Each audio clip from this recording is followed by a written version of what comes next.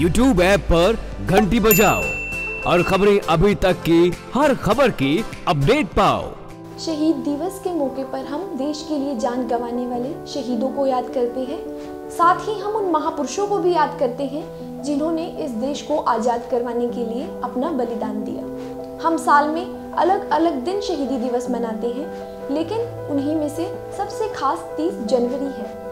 इस दिन महात्मा गांधी जी को याद किया जाता है। इस खास तारीख पर राष्ट्रपिता महात्मा गांधी की हत्या के साथ साथ अन्य सभी शहीदों को याद किया जाता है। 30 जनवरी साल की सबसे खास तारीख है। सन 1948 में नाथूराम गोडसे ने महात्मा गांधी की गोली मारकर हत्या कर दी थी। इसीलिए हम 30 जनवरी को महात्मा गांधी को याद करते हैं।